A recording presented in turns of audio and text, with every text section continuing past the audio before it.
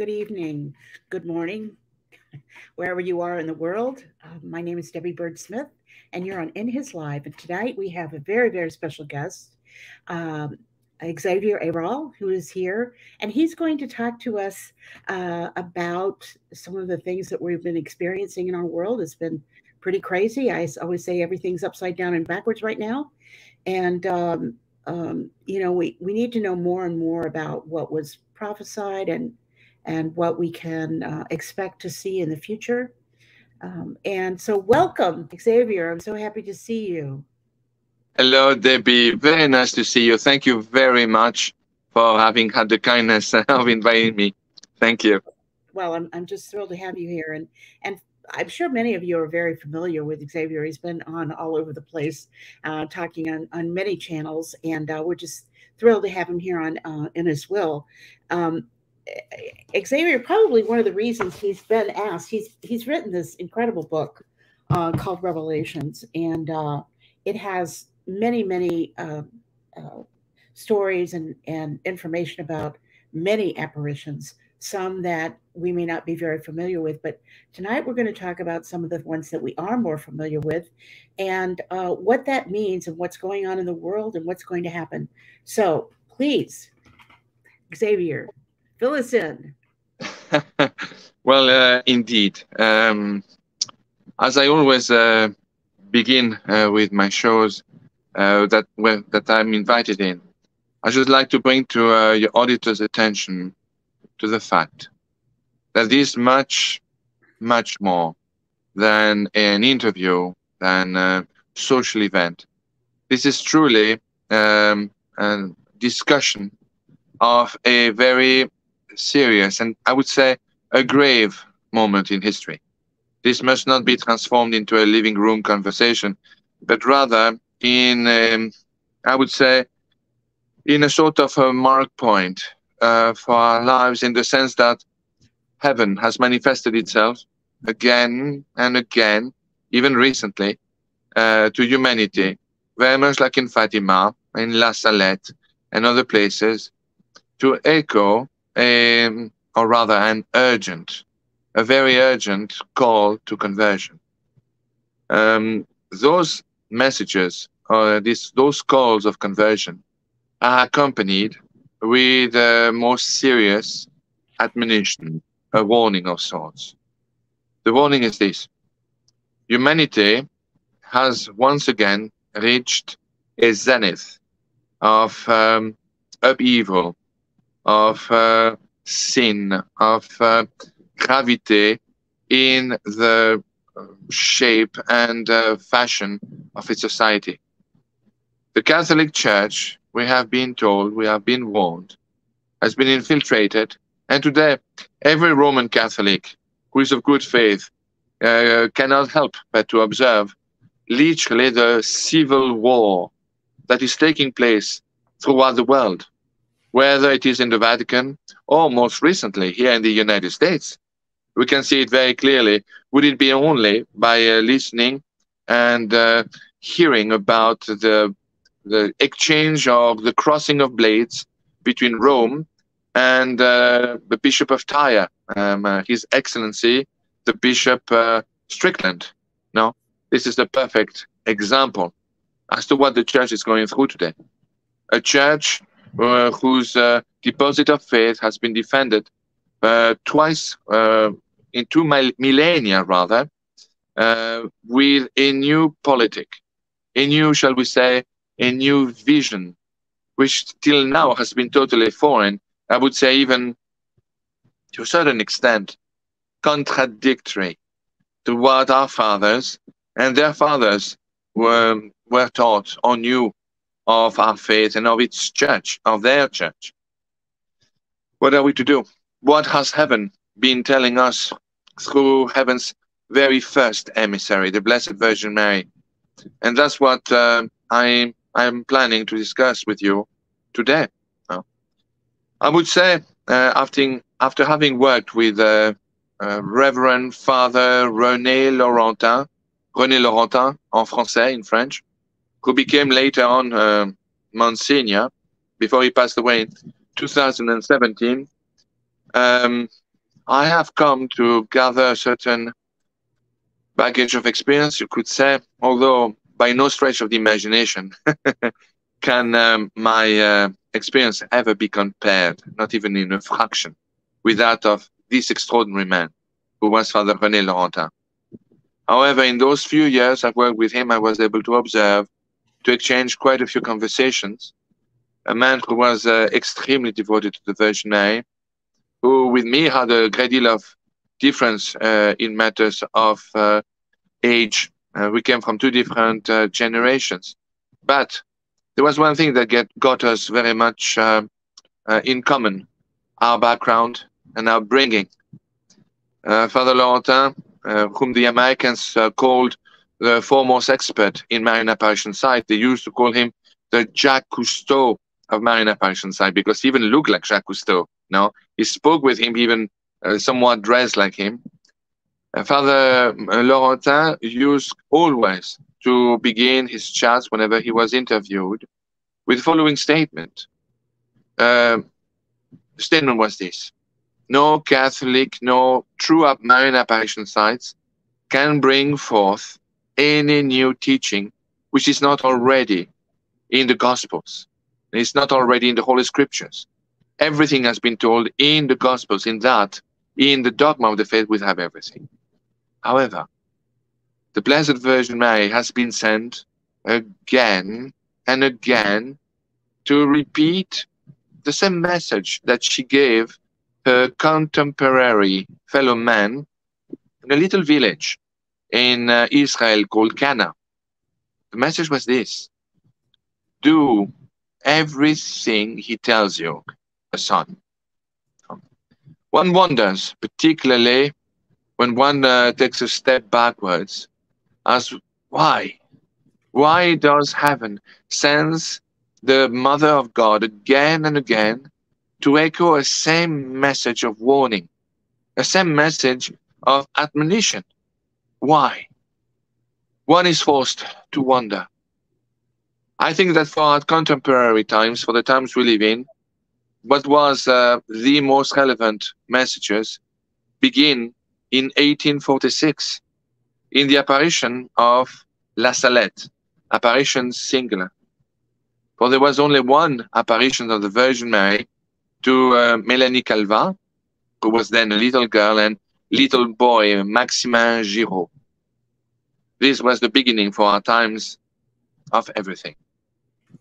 Then, and I will go into it uh, more and more in depth in a moment, but from then on, uh, this message of uh, La Salette, after it had been formally approved by the local Archbishop of Grenoble, and then confirmed by uh, an approval of the dicasterium of the doctrine of the faith in Rome, by declaring it as being worthy of belief, that particular, or rather, those secrets of La Salette, because they were not particularly convenient to the clergy, to the authorities of the church then, nor for the future ones to come, and politically were hidden, hidden in an iron box and sent to be forgotten in the depths of the libraries of the Vatican, only to be found over a century later by, in, by sheer accident, by the way, by a French abbot, a French priest called de Corteville, who remarkably enough happened to be a uh, assistant and colleague of Reverend Father René Laurentin, who was not yet named uh, Monsignor.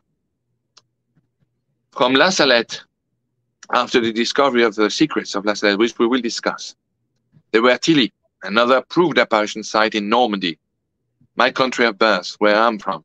No, then from Tilly came years later Fatima, which also, as we all know, has been formally approved by the local Archbishop of Fatima and by the Congregation of the Doctrine of the Faith.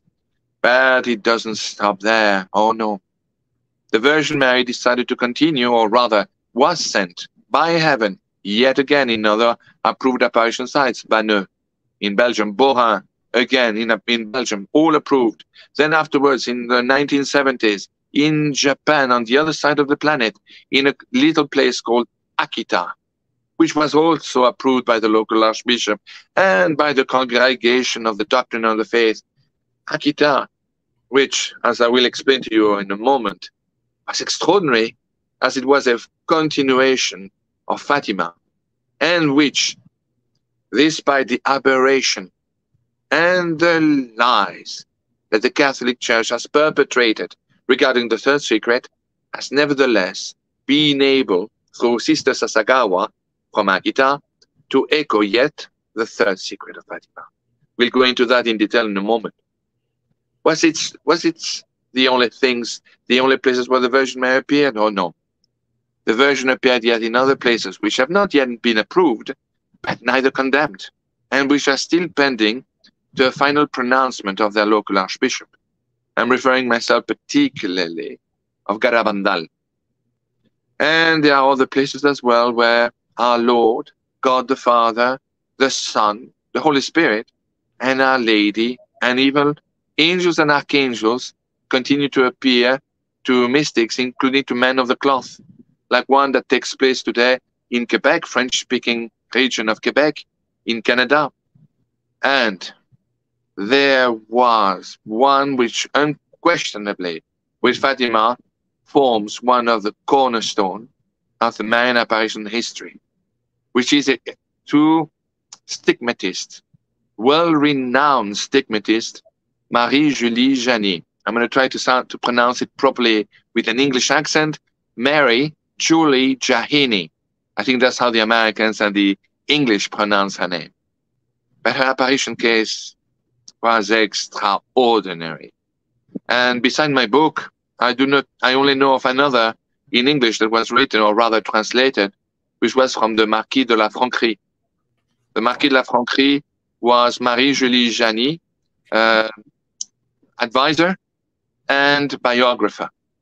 He was unquestionably uh, the person who uh, brought to light, to public light, that is, the messages and prophecies and admonitions brought forth to this extraordinary Breton woman from France uh, who began to receive her apparitions in the 1870s all the way to the 1940s, or rather until her death mm -hmm. in 1941 during the German occupation of France. But remarkably enough, her apparitions, and in my book, it occupies unquestionably the largest amount or the largest number of pages. Her messages are remarkable. Her prophecies from 1870 to till today, and those that are yet to happen, or rather, from 1870 until 2023, all the predictions have taken place with utmost precision.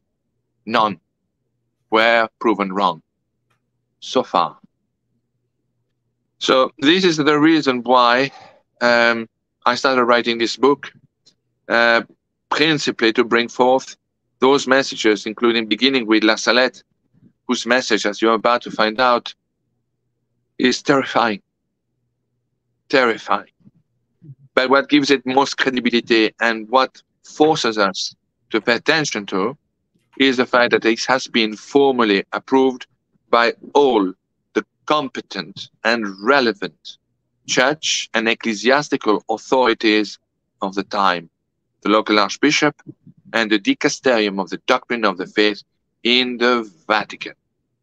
There is no greater or superior manner to get a formal approval of the Catholic Church. Now, as Father Laurentin always used to begin, the only thing the Catholic Church may declare about an apparition site is that it is only worthy of belief.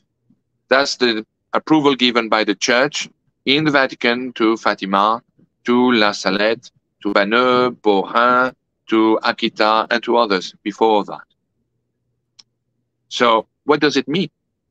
It does not mean that we as Catholics must obligatorily believe in the authenticity of, of Fatima or Lourdes or, um, or Akita or any of those approved apparition sites. No, it is not a sin not to put importance on those or not to follow them.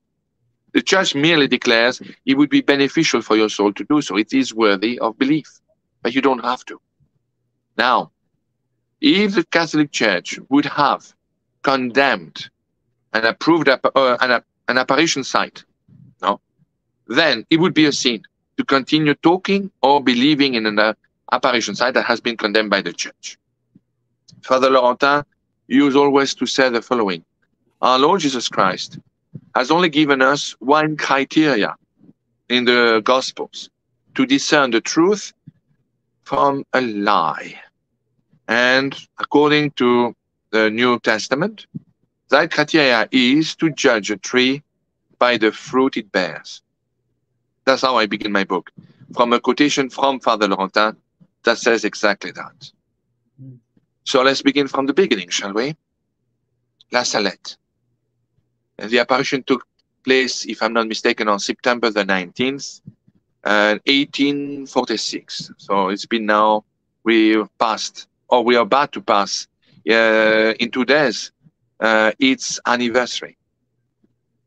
This message, I would say, is of the utmost gravity.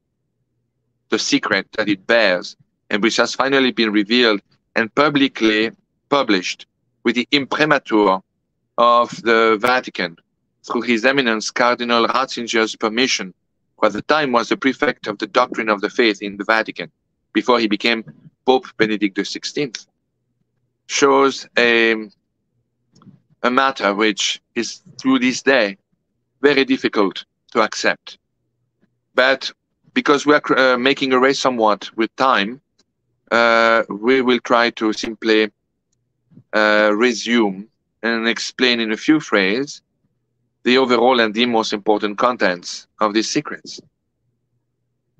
Through 1870 um, until the future events which have been foretold in The Secret of La Salette, uh, the children, um, Maximin Giraud, Melanie Calvat, were told all the events that would take place from 1870 onward, beginning with the with the rise and fall of the head of state of France of the time, who was uh, Napoleon Emperor Napoleon III, nephew of Napoleon Bonaparte. We all know what happened in France with the rise and fall of Napoleon III, who had the ambition of his uncle, but I'm afraid who didn't have his uh, tactical, tactician qualities or the moderation that the situation of the time called for. We know the Franco-Prussian War, which France lost to the Prussian, to the Kaiser of the Prussian Empire. We know the fact that the Emperor of France was captured during the war. And um, after we lost the war, we lost as well two regions of France, the region of Alsace and Lorraine to the Germans. Emperor of France, humiliated, decided to leave and go to London in exile since he could not return with his face upward in France after the, the fiasco of the war he started. So from then, all this was predicted by the Blessed Virgin Mary to the two children. She talked about other wars that would take place. Uh, in some instances, it was very clear she referred to the First and Second Universal War, World War, World Wars, plural and of a third world war as well that would take place. And I regret to say, since I was raised in Paris by the Jesuit, ironically enough, that in this particular prophecies, the version mentioned that in this world conflict, Paris would be destroyed to the ground. And other cities as well, among which the city of Marseille, which is the second largest city of France. This war would see a great many victims, according to the secret of La Salette. This war would likewise uh, see the demise of the country of France and other nations who would be allied to it, but would see as well the rise of a man of providence, a great monarch who would be sent by aspiration and decree and orders of heaven. These men would re-establish order, would liberate uh, those nations that have been conquered, invaded, and would restitute the church of yesteryears in its glory known by our fathers and theirs before them. But the prophecies do not stop there. The Virgin Mary in La Salette mentioned that the day would come when Rome would fall, when the faith will no longer be in the Vatican, and where the seat of Peter will be occupied by an Antichrist. Quote, unquote. Those words, those sentences, I regret to say, are not subject to any interpretation. Those are verbatim what Our Lady of La Salette revealed to these two young children who I do not think yet learned at the time how to lie. Nevertheless, those prophecies, those alarming prophecies were brought forth to the church, local church, but there is more. An antichrist, a creature that would be probably, most likely, be as close as possible as a human incarnation of the enemy of God, of the fallen angel, will be born as an illicit union between a Judaic nun and a bishop. This creature would have brothers and would be born with teeth, blaspheming, and feeding out of impurities. This human being and his brothers would very quickly rise in the echelons of society and will be seen and considered as an answer to humanity's problems. All this, again, was revealed forth in the secret of La Salette. And I cannot stress this enough, although I sound like no, like an old scratch record that has a tendency of repeating itself, approved by the local bishop, and after study and a meticulous investigation, and by the dicasterium of the doctrine of the faith in the Vatican. Those messages are as, as the sound of the utmost gravity. Furthermore, it does still not end there.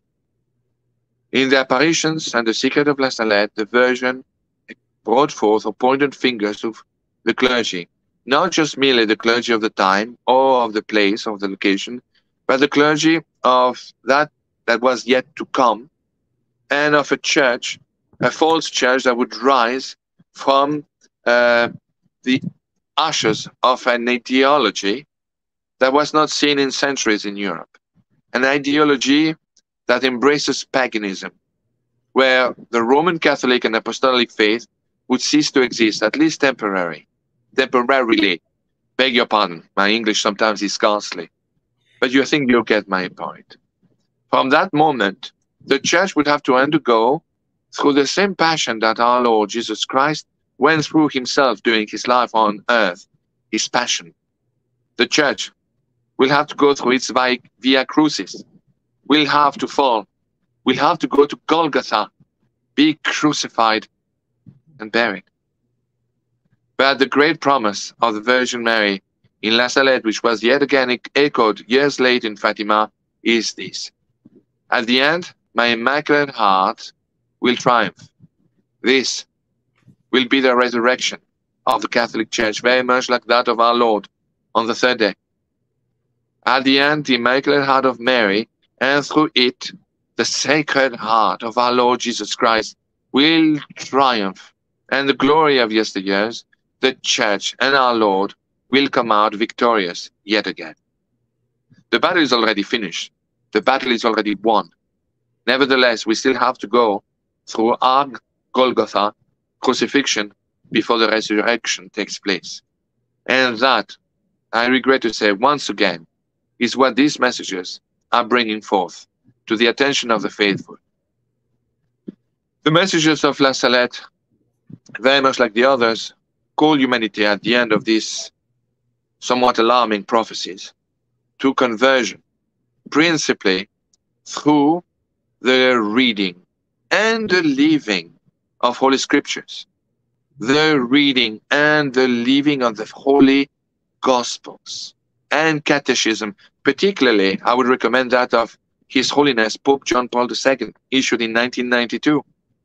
Virgin Mary and heaven through the Virgin Mary cause us to convert through living the holy sacraments of the Roman Catholic Church, particularly Holy Confession, preferably every first Saturday of every month, and weekly, if not daily, communion.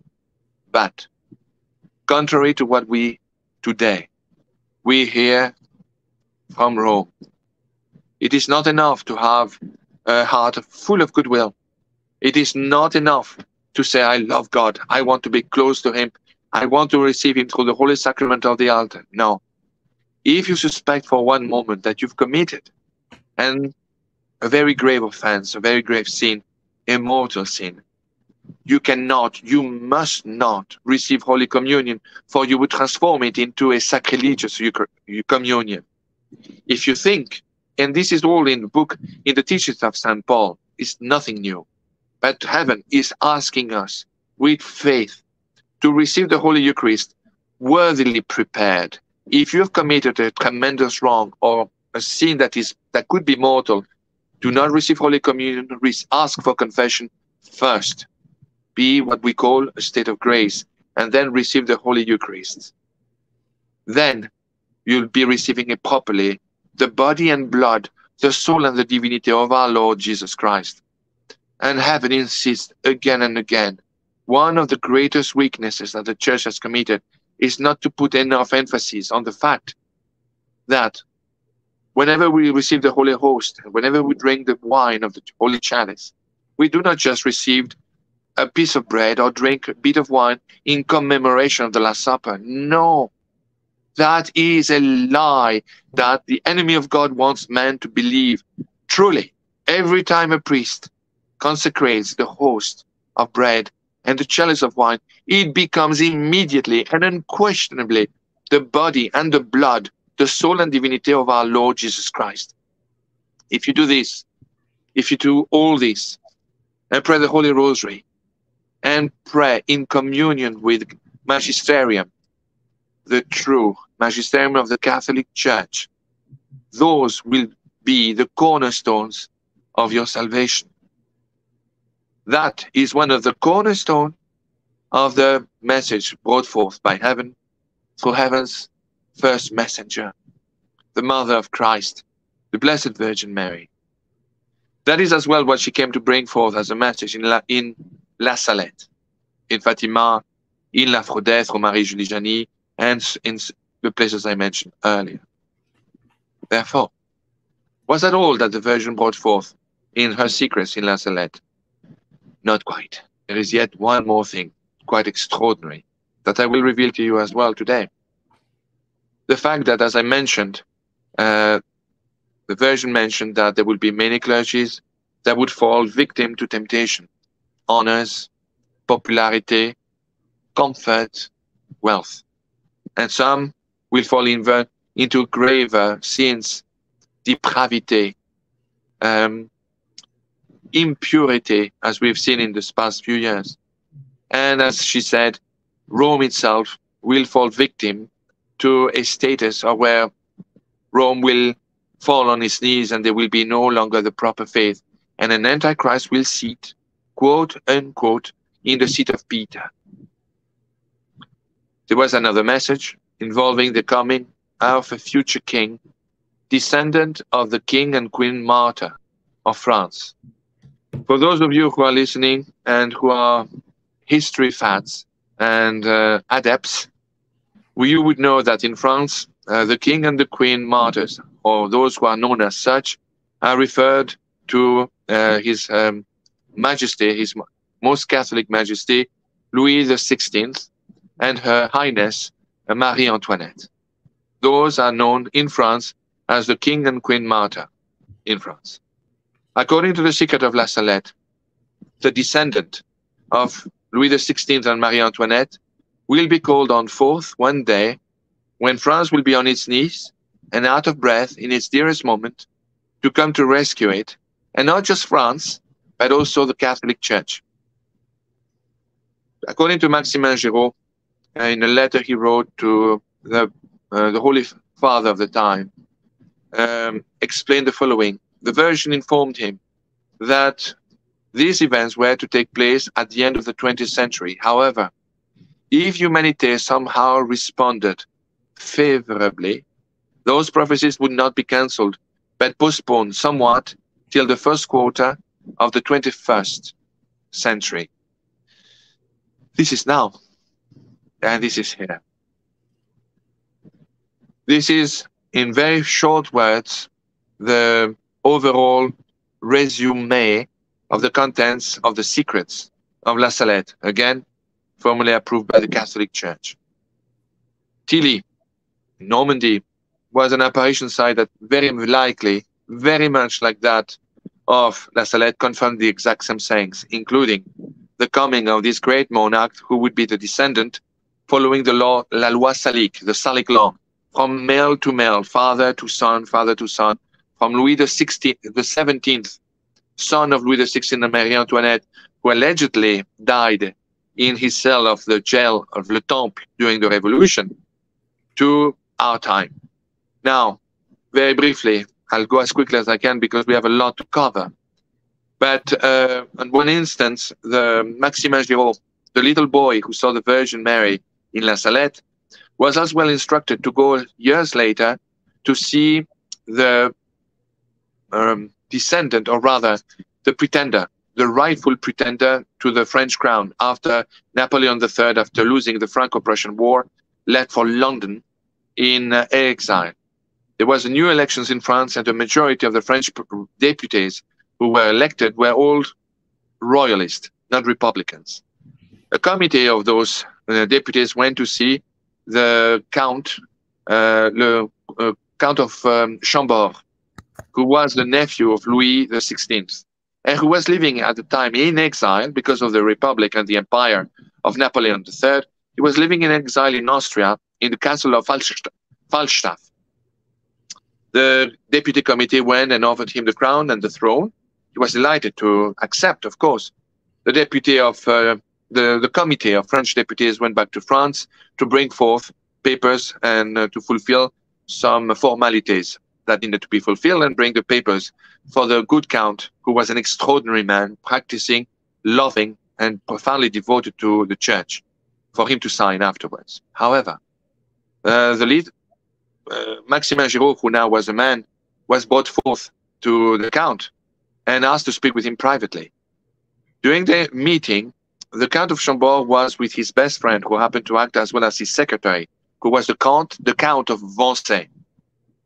Now, the Count of Vanssay wrote a letter to his family describing the events of this meeting. When uh, Maximin Giraud went to see the Count of Chambord, he revealed to him in private, and the Count of Vanssay was watching from a distance uh, as the Count of Chambord and Maximin Giraud were speaking in private in a window which he could see. Uh, the Count of Vanssay saw the Count of Chambord put his hand on his forehead and swallow tears. And then he could barely see, he barely hear him say, Oh mon Dieu, oh my God, this cannot be. And the young Maximin Giraud continued to explain to him that secret that Our Lady uh, instructed him to reveal to the good Count of Chambord. Finally, the good Count of Chambord was about to give a roll of uh, gold coins to the young man for his trouble for having come from France to Austria, which uh, refused. He said, no, Our Lady asked me to do this as a mission. It would be wrong for me to benefit or profit out of it. So the only thing he, upon insistence, he accepted was simply the fair fees to return to France. Afterwards, the Count of Chambord confided into his best friend, the Count of Vanssay, told him, Henri, I have to tell you truly what was revealed to me, but it is a secret, which must be revealed only in God's good time. We cannot reveal it now, for it is not our Lord's will yet. But the secret is this. My cousin, Louis the Seventeenth, who at the time of his demise was 10 years old, a little boy 10 years old in the cell of Le Temple, and who they said passed away was in fact rescued and replaced by the corpse of a young teenager, as many of us suspected. Louis the 17th, my good cousin, is well and alive and has a descendant.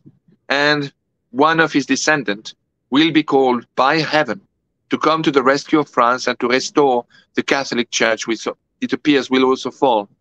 I cannot, in all good conscience, take the crown and the throne, as it does not pertain for me to do so but I cannot explain my reasons to the Committee of French Deputies as I'm not permitted to do so. So I have to come to, with a pretext, but we have to find consolation in knowing that the glory of yesteryears and of our fathers will come back to France, and a great monarch will restore France in its proper place as the church's eldest daughter. This was reported by the Count of Orsay to his family through a letter which was later revealed historically speaking. When the Committee of French Deputies came back to Frohsdorf and offered the good Count to sign the document, the good Count had already prepared a pretext not to accept it. And the pretext is this. His utmost condition was for the flag of France of his uh, ancestor Louis XIV to be restored and take back the place of the tri tricolor. The tricolor is the French flag which today represents France, blue, white, and red. He knew that the deputies would refuse out of their fear of starting a new revolution in France because of this concept. This would eradicate completely all the basis of the revolution which took place less than half a century before. He knew in advance the response, and it didn't fail. Immediately, the deputies, terribly disappointed in the Comte de Chambord, returned to France and upon interviews with some of the most renowned magazines stated, the Count of Chambord has refused the crown of France for a handkerchief. That's history. But now you know a secret, the secret why the Count of Chambord refused. And all this is not a legend, it is history. And part of the secret of La Salette. Those are the great lines of the apparitions, the admonitions, and prophecies of La Salette, which are, were only to be confirmed years later in the other apparitions we mentioned at the very beginning of the, the interview of this show. The next apparition, as mentioned, was Tilly, who confirmed, which confirmed all the events and messages of La Salette. Then was La Fraudais. La Fraudais was, uh, rather, was mostly featured through its great messenger, Marie-Julie Jahenny, a woman who had not a very developed education, but who had a tremendous faith in God, was miraculously healed of a cancer that was de devouring her at a very young age. The Virgin appeared to her before the, Blessed Sacrament or the Holy um, Tabernacle and told her she would be healed and asked her if she would accept to become a victim soul uh, for the conversion of sinners, sinners and also for the forgiveness uh, of the sins of France. Like many country women and men of France, Marie-Julie Jahenny was a patriot and loved France and the spirit which it represented, and immediately gave her fiat and said yes. From that moment forth, Marie-Julie Jahenny began to suffer the greatest pains for the rest of her life, including living the passion of our Lord Jesus Christ miraculously through stigmatas every single Friday of her life, suffering through the more hard uh, of hardships. She had all the stigmatas, all of them without exception, in the hands, in the feet, in the flank, the crown, the back, the even on her chest, where on one instant appeared the words inscribed "O Crux Ave," which means "Oh hell, Holy Cross." No, she emitted a perfume of rose from her body she levitated. And she even had fights with the devil. No, and she offered it all to our Lord. The devil tried to tempt her. She fought heroically and never accepted. She adored the Catholic, uh, rather, our Lord Jesus Christ, the Holy Trinity. She had a profound love of a daughter for her mother with the Blessed Virgin Mary. She had a profound respect and love for the Roman Catholic and Apostolic Church and irrevocably and unconditionally submitted herself to the judgment of a local bishop and through him to the Catholic Church. She received Holy Communion miraculously out of nothingness before witnesses. All of this I write it in my book, including men of the cloth who were sept- skeptic, saw the, the Eucharist appear miraculously on her mouth. Not unlike the famous miracle of Garabandal uh, a little over a century later. No, she as I said, offered all her hardship for the conversion of sinners and for the church and France. But her prophecies were extraordinarily detailed. Extraordinarily detailed. All of the prophecies she brought forth from the her time of 1871 until 1941 uh, took place exactly as mentioned without any errors.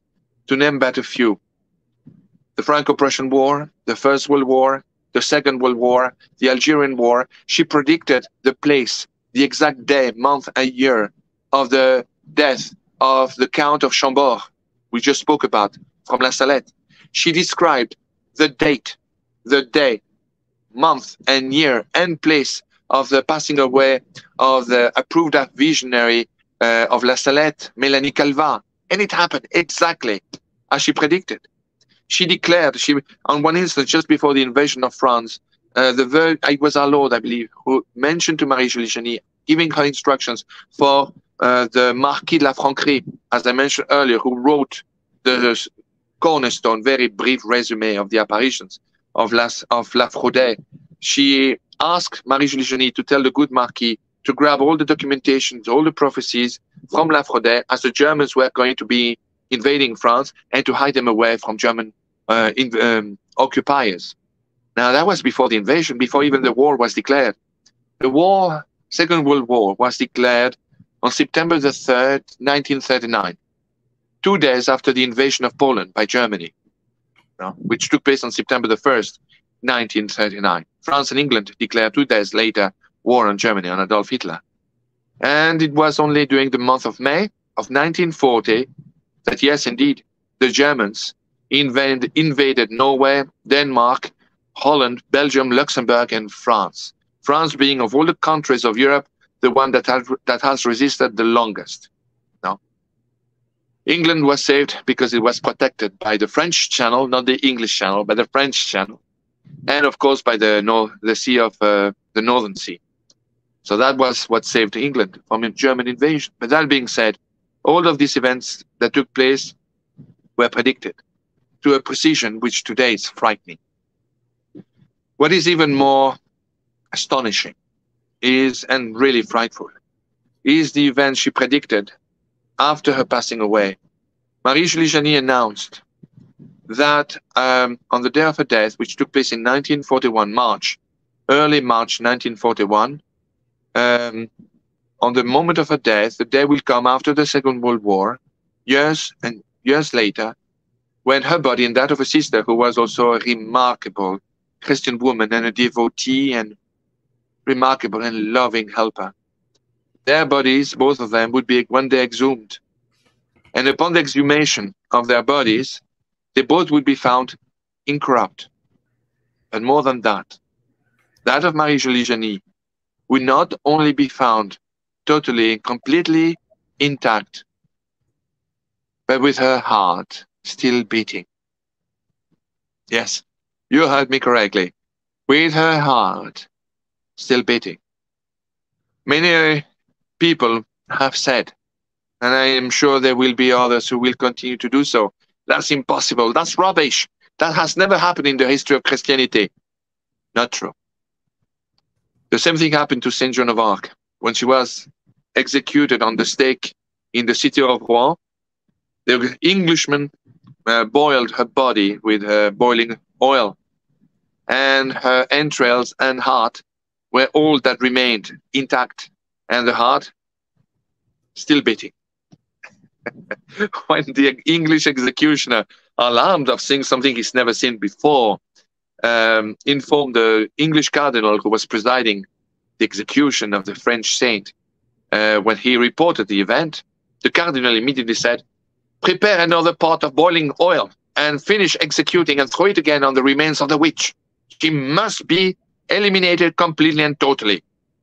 So the Englishman executed the orders, threw again an entire pot of boiling oil on the remains, on the entrails and beating heart of Joan of Arc, only to find it a minute later, still intact, and the heart of Joan of Arc still incorrupt and beating. This again is not a legend, but it was recorded on the process of rehabilitation from English witnesses. The enemy who gave testimony of this particular event during this rehabilitation process. The enemies of France would not were not about to give would not normally give an advantageous testimony for France against their own nation. That's what gives them a tremendous credibility.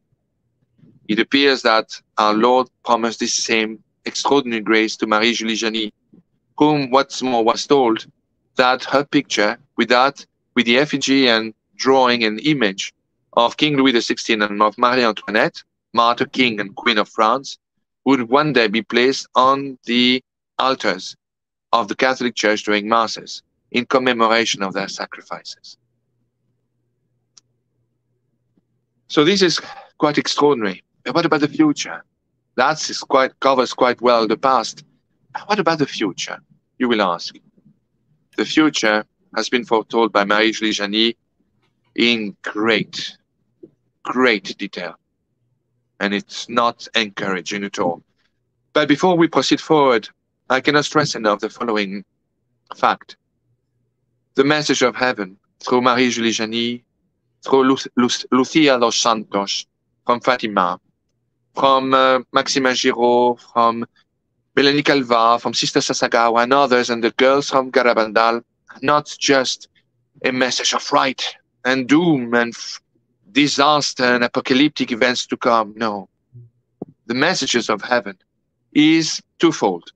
It's a call from a loving and imploring mother to convert while there is still time through the means I just explained earlier, the Holy Scriptures, the sacraments of the Roman Catholic and Apostolic Church, particularly communion and confession before communion.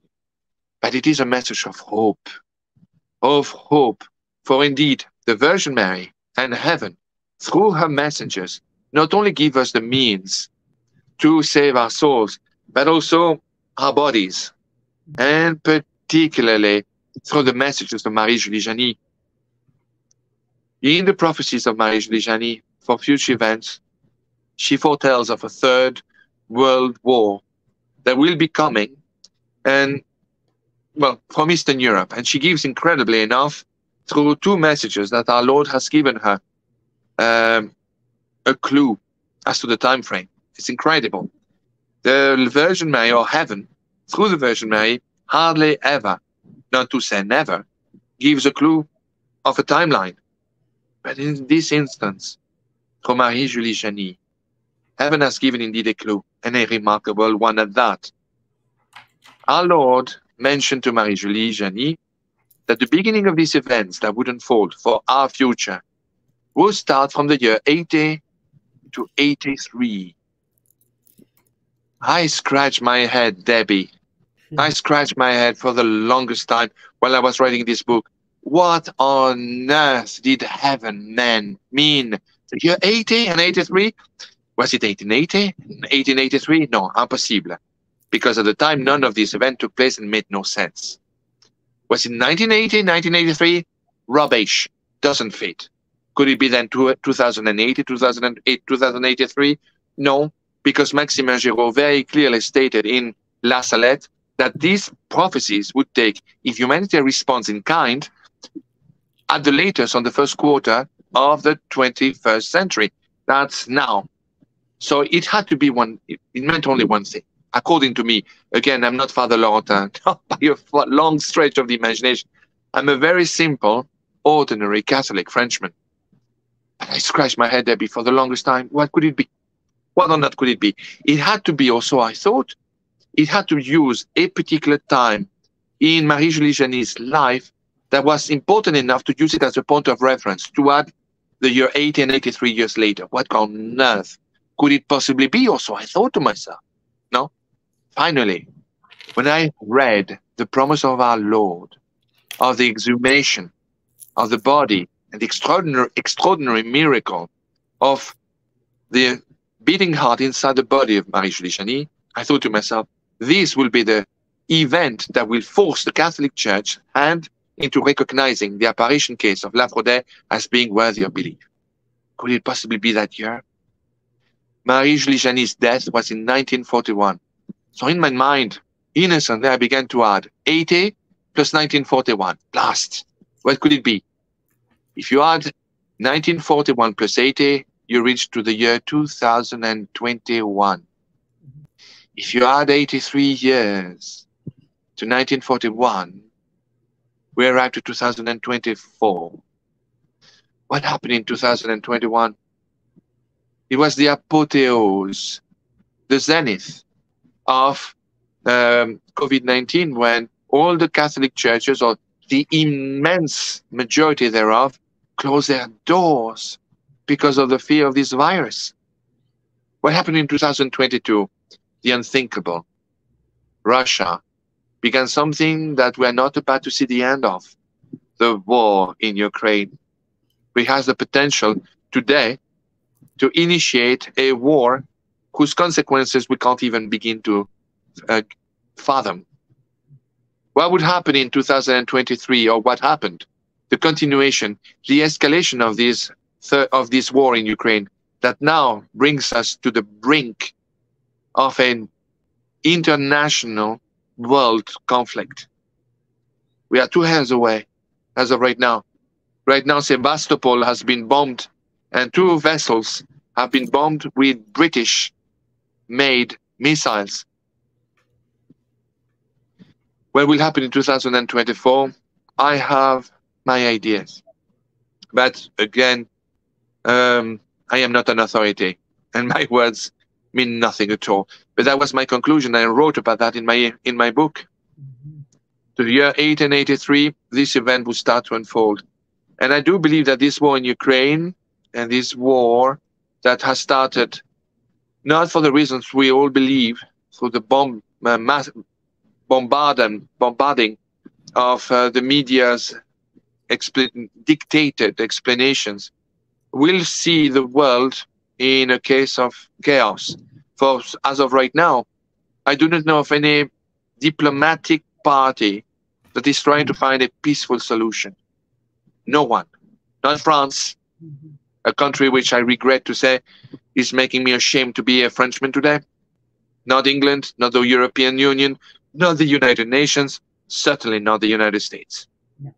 We are going towards a precipice whose consequences we are about to experience in a very short while. So Marie-Julie Jahenny's message in my book takes tremendous importance and has for the ambition to be the most important uh, revelations of the apparitions and messages of heaven through Marie-Julie Jahenny in the English-speaking world. The book is being translated, is, is already translated in Spanish. It's about to start into Spanish, excuse me, to be propagated in the Spanish-speaking world and I'm doing as we speak the French translation of the entire book. My main concern in writing this book is was only one. I married, well, an American girl who gave me the most precious children I possibly could have had. I had a family in France I could not have dreamt of having better. And for me, the book, the, the issuings, uh, the writing of this book was a way for me to say merci to heaven. For the parents I had, for my mother in particular, for my two children, for a brother that is second to none, my best friend, and for children that are my uh, my life. I had I could not imagine a better way to say merci to heaven. And my wife was the one who inspired me in writing this book to express such thanks. So now the time has become when the situation is really dear and alarming, to say the least. After Marie-Julie Jahenny uh, initial prediction, she announced the following. She mentioned that the Catholic Church, from this Catholic Church, um, they will be, they will rise a false church from the Roman Catholic Church that we knew before its arrival. That the Antichrist will be walking amongst cardinals and bishops in the parlors of the Vatican she mentioned that indeed a false doctrine will come forth and a new um, liturgy will be will be brought forth, which will be nothing less than an abomination in the eyes of God. She mentioned that there will be schism in different apostolic colleges. We see one right now today in Germany, mm-hmm. which uh, uh has the pretension of making a parallel magisterium to that of Rome. And the Catholic Church has not created or threatened excommunication for those. Oh no, not not a declaration that they're heretics. No, of course not. But for those who are guilty of the unforgivable crime of loving God with the traditional ways, the way our fathers, and again, theirs before them, used for two millennia, ah, those are heretics, intransigent, inflexible, supposed Christians. No, those would be threatened of heresy by Rome. It's extraordinary. It's extraordinary. These events. Yes, yeah. It is. Yeah. And this has been foretold by Marie-Julie Jahenny in La Fraudais, by the children of La, La Salette. That's why the bishop of uh, Grenoble has hidden purposely this secret, which was inconvenient to the church, and threw it and sent it to the Vatican to be lost under the carpet of convenient, under the dusty carpet of convenient forgetfulness in the depths of the Vatican's libraries, only to have been found by sheer divine providence in 1999. This is nothing short of a scandal. And another reason why I wrote this book to redeem the unforgivable crime, this crime by my countrymen, who happened to be the Archbishop of Grenoble and many of his collaborators. It is a disgrace. It is betrayal. So La Fraudais merely echoes the messages of La, of La Salette, but in greater detail.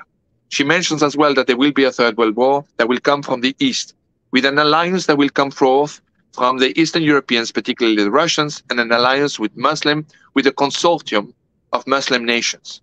She mentioned before this war there would be revolutions, particularly in all of Europe, but particularly in France and in Italy. Revolutions that will principally take place through a uh, cohort of foreign Muslims uh, that would have come out of expatriation or immigration through an uncontrolled immigration where France, among other nations of Europe, will totally raise the barriers of their borders to receive them uh, in an overwhelming manner. Now, please uh, do understand that when these messages were given in 1875, 78, 1880s, it was considered sheer rubbish and completely unrealistic. Northern Africa, sub-Saharan Africa, were colonies of France there were invaded conquered territories, French territories, and the majority of these populations did not amount to more than 20, perhaps 30 million people at the very most, stretching the imagination. So it was considered unrealistic, and it was at the time. Today, this prophecy has already taken place. Let me give an example. I'm a Frenchman. I was born there. There is or rather, it is not an accident. I live on this side of the Atlantic. Mm-hmm. Now, I was born in Paris, to, that was to, still French. Today, when I go back to Paris and I go back to France quite often, I do not recognize the country I grew up with. I grew up in. Not at all. Today, in a country where we have 68 million inhabitants, about 17 to 17 and a half million of those 68 million people are descendants of immigrants from Northern Africa and, Af- and Central Africa, Muslims. We're talking about the country of King Saint Louis, the church elder's daughter. We have right now more Muslims that are practicing their faith in France than Roman Catholic that practicing Roman Catholics. I hope that your auditors are understanding what I'm explaining. This is testimony of a Frenchman who comes from France. There is no more French than I am. I am France in all its concept. I adore my country. I love my nation. My every generation of my country, of my family, has answered the call to join the colors and take arms against foreign invaders. Every single generation. No. So now we are told that the Third World War will take place after a revolution takes place in France and Italy and other nations in France. And these Russian invaders, all this will take place between 80 and 80, well, will start the beginning of all these events between 80 and 83. I give you my theory. Russia will invade through a blitzkrieg of sorts immediately all the nations from the Belarusian borders all the way to the Rhine River. It will be very quick. And they will wipe away very quickly all the NATO defenses that stand in their way. Today, is this realistic? Quite so. France and England and unquestionably the strongest military powers in continental Europe. They both have given to Ukraine this past year millions and millions of tons of ammunition to Ukraine, which Ukraine has consumed like if there were no tomorrow. France and England, Germany, all the members of the European Union have no more reserves. Yesterday or the day before yesterday, I don't remember very well, but a few days ago, I watch all the time French TV. I keep in touch with my home nation. And there was a general, French general, in uh, retired, who explained that he still have a great many friends in active duty in France. And he was explaining that if today France, England, Germany were to fight a conventional war, the same way the Ukrainians are today against the Russians, France would not be able to last more than 11 days with the reserve of ammunition it holds in its arsenal. England 9, Germany 6. That's the testimony of a French superior officer. Because the immense majority of our reserves were given for the past uh, 14 months to Ukraine, which has dilapidated in a very amateurish manner all the ammunitions and weapons that it has received. Ukraine has received hundreds of billions of euros of equipment and ammunitions, not mostly from the Europe, the Europeans. Altogether, the Europeans did not match the Americans. The Americans were the principal uh, providers of weapons. Billions from your pocket, Debbie, from all the pockets of your American countrymen. Yes. That is your money. That is my money as well from France and here that has gone into that. And today, Europe and the United States are in no way ready no. to face a conventional war. They say, well, look at Russia. They're not managing to make any progress in Ukraine. Please watch uh, Judging Freedom with Judge Napolitano, an American commentator uh, on the internet. Watch him who invites people of the likes of uh, Colonel Macgregor, a hero of the uh, Persian War. He, they will tell you what's the situation, why the Russians are not attacking yet. Putin, according to those guys and some officers that were superior officers in the CIA are explaining that Putin wants to give a leeway for negotiations. If he could, he could send right now his 700,000 troops that are on the border with Ukraine, plus those that are in Ukraine, and start a massive invasion and start using their EM, EMP, electromagnetic pulses cannons, from uh, the ground and from satellites to eliminate once and for all all the defenses of, of what remains of the uh, Ukrainian defenses. They're not doing it according to them, according to the American officers, because that's to give a leeway for negotiation and peace. It doesn't appear that anyone wants to, to sue for peace right now in Ukraine. It's another story and it's politics, which I don't want to enter into it. So we go back to again to the prophecies of Marie-Julie Jahenny.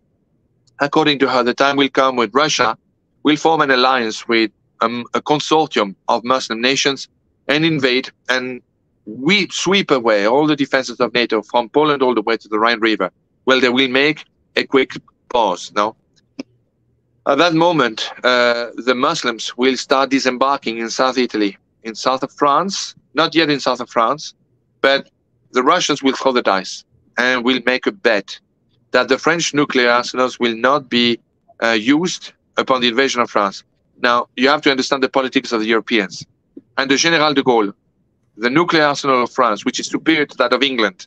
We are the largest nuclear force in continental Europe, even above that of England. Now, but de Gaulle, when he installed the nuclear arsenal in France, was with the following concept: if anyone, any nations sets foot on French soil, will use the nuclear dissuasion weapons to punish them accordingly. And we have enough. We have a, a nuclear arsenal of over 380 nuclear warheads, that's enough to wipe out half of the globe. No, nothing to be proud of. General de Gaulle used to say that what makes a nation great is not the amount of corpse, corpses it can produce, but the amount of corpses it can avoid. And he was right. So according to Marie-Julie Jahenny, the Russians finally will throw the dice, betting that the France, the French will not respond with a nuclear response. And according to Marie-Julie Jahenny, they would be right. They will be right. There will be three major attacks that will uh, take over France. One, the principal attack will not be Paris. It will be the city of Orleans, Orléans. The second largest attack will be Paris, which will resist the area of Paris for 45 days, only to collapse after for lack of ammunition. And the third attack will go through Switzerland and central France, which will meet with the disembarking force of Muslims in southern France. And uh, the Muslim will disembark in South Italy, southern France, that La Costa del Sol in España, in Spain, and Andalusia in the southern part of Spain. All this invasion from the south with the Muslim would meet with the Russians in central France. The, Ita the Muslims in South Italy will race against the Russians to reach Rome first. The Russians will win. They will take over Rome and plant the flag on the Dome of St. Peter. But in the meantime, the Muslims will uh, not encounter too much uh, resistance in Andalusia and Costa del Sol in Spain. The King of Spain will leave temporarily Spain only to return and push the Muslims back after a certain amount of, of war. But remarkably, there is another prediction which is also very concerning that Marie-Julie received from Our Lady. No, from Saint Michael the Archangel, if memory serves. The prophecy was this France during the war will not receive any help from her allies. That means the Americans. Now, this is very troubling, not mm-hmm. because France will not receive help, but because it would mean since the French and the Americans are brothers of arms and have been since uh, Le Marquis de Lafayette and George Washington and, Roche and um, Rochambeau at the Battle of Yorktown. We've always been brothers of if arms under every conflict. We would have never had a country. If oh no, and we would not have had. We would have not had France liberated either. We are brothers. Yes. And we have had ups and downs, but we are brothers. The fact of the matter, Marie-Julie said that will, France will receive no help from her allies because France has not had a king for many years. But the real reason that leads me, that makes me very alarmed is this. I love the United States, as I said. I married an American lady. My children are half American, half French. But for the Americans not to come to the rescue of their brothers, of their friends across the Atlantic, is not a bad will. I believe it will be because they won't be able to either or two possible reasons. It could be either that America will be hit will be hit so hard that he will need all his resources to get back on his feet, and or it could be because all of his attention be placed elsewhere through a most um, serious front. Could it possibly be that of China and Asia? I'm forced to wonder. But the message was very clear. France and her allies in Europe will not receive any help from its allies. However, uh, heaven will send a man of destiny, of providence, to save France and the Catholic Church. This man, Marie-Julie Jahenny said, will be the descendant of the, again, the martyr king and the martyr queen of France, Louis XVI and Marie Antoinette. She said it exactly as I'm telling you. This man will be sought by a man who will receive uh, privilege um, apparitions of heaven and who will be informed to leave France and reach uh, and seek the Dauphin, the Prince of France, for him to come to France and liberate France and reinstall the Catholic Church. That man from France uh, will be told where the King of France is today. The King of France has a name. His name is Henri V de la Croix, Henry V of the Cross. And this man, uh, when the battlefront in France, who will not, which will not be totally conquered, uh, once the front will be stabilized between, I think, Cherbourg and Bordeaux, uh, the King of France, Henry V of the Cross, will come and will take the control, although he will meet a great deal of resistance in France, even from royalist parties who will be counted by the fingers of a hand, or so it's the, the version said. But he will take control uh, of the army, the superior officers of which will see in him indeed divine providence and will push back the invaders, both Muslims and Russians, Eastern Europeans. Now, I know you work with Ron and uh, with Monique Turnbull, who work in Mother Refuge. I've become very good friends with them both. And uh, Monique Turnbull asked me on uh, one of your shows uh, the following question Xavier, she said, um, if indeed you knew that the King of France would hear you today in this show, what do you think you would like to tell him? And I would, uh, and I answered Monique uh, in the following manner. I said, Monique, I'm very grateful you asked me that question because I would aspire to be the first Frenchman to publicly offer my allegiance to the King of France and to repeat uh, the motto of my ancestors, which was my soul to God, my life to the King, my heart to the Virgin Mary, my honor to myself. I didn't know if the King of France, the Dauphin, wherever he is, will ever hear this message. But if he does, I take great pride uh, to be the first Frenchman to, to say present to the call that the king would make, hopefully one day soon. So this king would come according to the Virgin Mary and would indeed be helped uh, miraculously through the forces of heaven. No? But before, while the, the war will take place, this will be part, according to Marie-Julie Jahenny, as that chastisement, man-made, to a humanity that deserves it because of the sins it has committed for decades, if not centuries. But there will be another chastisement that will fall upon humanity that will be sent from heaven. And that will be during this moment of wars, a chastisement translated through uh, another pandemium, pandemium of a disease, a virus, that will be considerably graver. Than COVID-19. Considerably. This virus, the Marie-Julie Jahenny used to call it the burning plague. And she was told by the Virgin Mary that the medical science of humanity will remain mute and unable to come with an answer to counteract it. This disease will be airborne, immensely contagious, and will have absolutely no remedy at all, and will cause millions of victims throughout the planet. Despite of human science being incapable to come with an answer to that disaster, heaven will send one, one, which will save humanity to those who will take it. These uh, remedies in my book, and I will tell you all what it is right now. It is, and forgive my English and my horrible French pronunciation, so bear with me. It will be the hawthorn leaf. Hawthorn? Yes? H A W T H O R N. Hawthorn. Perfectly. Hawthorn. Yes. Hawthorn.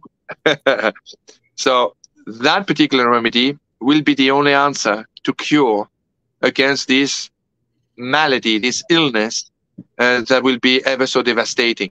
And there is a way the Virgin Mary is given for us to apply it and consume it to, to heal those who will fall victim to this disease. And the remedy is this. It's all in my book, but I will tell you nevertheless. The important thing is for the information to be spread around. No, that's all that matters. And the way to be healed is this. The version explained that once you take those leaves, you have to take off all the wooden uh, tige. No, mm. and first of all, you have to make an infusion by having some a pot of boiling water first. Boil. So we're supposed to make an infusion of this hawthorn hawthorn leaf. No? So you have this boiling pot of water. You put you put the hawthorn leaves in the boiling water. The quantity was not mentioned. You put a, a cup on top of the boiling water pot and you wait for 14 minutes, one four, not 13, not 15 minutes, but 14 minutes. Why do not ask me? I have no idea. Well, I have an idea through another mystic, but I will explain that in a moment. After 14 minutes, I stopped, I arrived, immediately turned the fire off, take off the cap of the pot, and immediately put the this infusion in a container. So you could possibly make it go through a filter uh, for tea or um, even coffee filter, anything, but just to uh, to re- to take away the impurities. And then you're supposed to consume it three times a day. Three times a day. Three times a day. And to do it this as early as possible before the symptoms begin to develop. If you take it too late, the Blessed Virgin Mary stated, then you will not be able to stop the death that will ensue, but you will be able to alleviate the torment and the suffering. So once you have these events, you suspect you have it, you have to take it, the, this infusion immediately, every day, three times a day, every day, in the fashion that I've just described to you. So that would be Someone has asked, yes. there are different types of hawthorn uh, hawthorn leaves. Um, does Any. it matter? Doesn't matter. No. Okay. No. Great. Now uh, there is another mystic I work with who receives, who has been receiving a message of our Lord and heaven since the age of three. He's a man of the cloth, a man who has been known to have uh, exorcised many people. He has started his own um, uh, Catholic order now uh, of Saint Joseph Benoit Labre in Quebec. His name is uh, Reverend Father Michel Rodrigue. Now, there's been controversy which has been resolved. Uh, the local bishop has not condemned him at all. His, his, local bishop has not simply approved him yet, but neither condemned. He waits for the events to to develop. But uh, Father Michel Labre was told also of the hawthorn leaf as well, and God the Father has supposedly told him that the reason for the 14 minutes that this was requested by his, the Mother of God was because it would take that amount of time for all the positive properties of the hawthorn leaf to dissolve in the water. It will not be as effective if it lasts even one minute later or if it's taken away one minute earlier. It has to be 14. That was the explanation that God the Father gave Reverend Father Michel Rodrigue.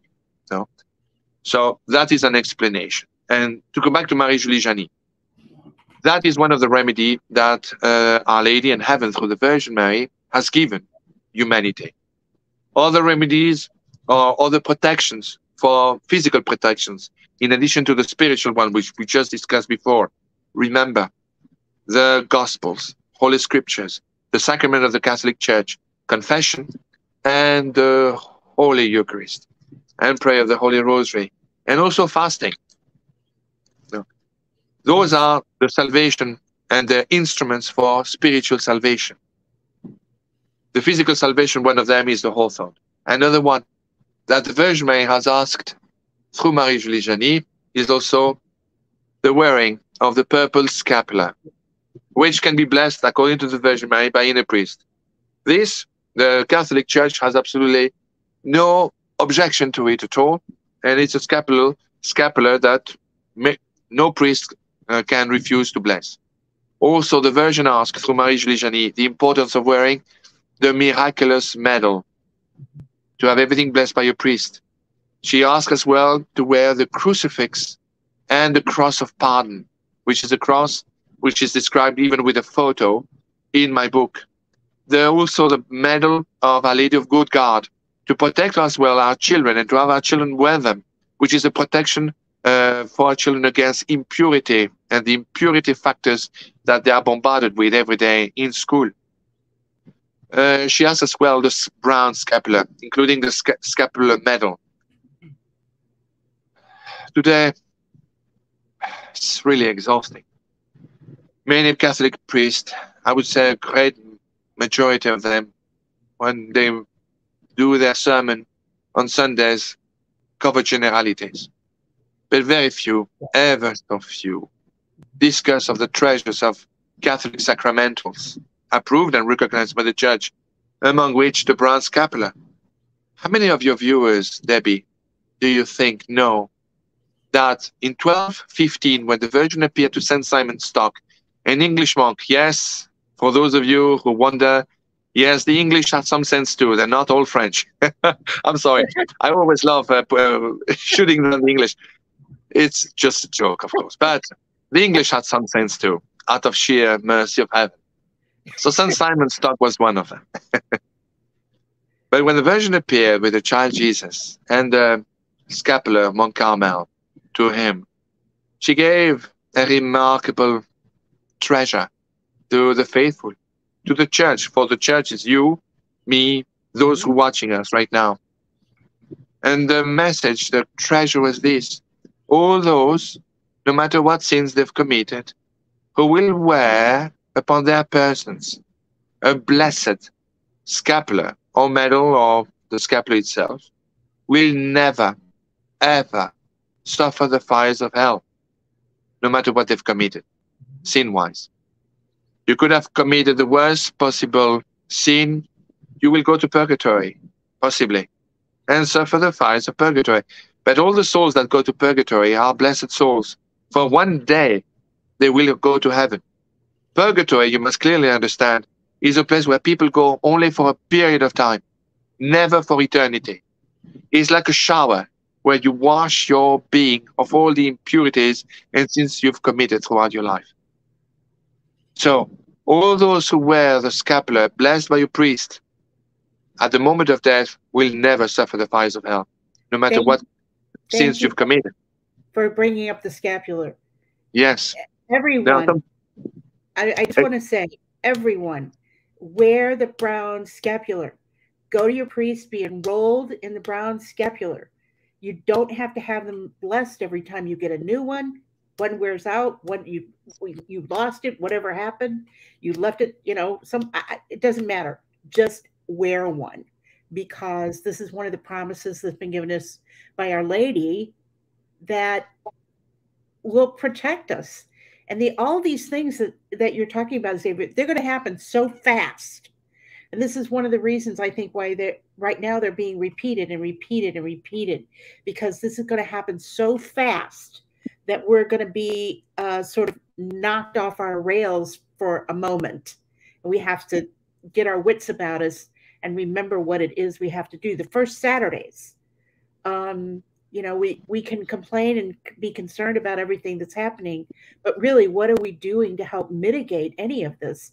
Not only for the world, but for our own souls. The first Saturdays, the scapular, the rosary, um, all of these things, the, the Divine Mercy Chaplet, all these things that we have at our disposal um, to use to help mitigate what's going on.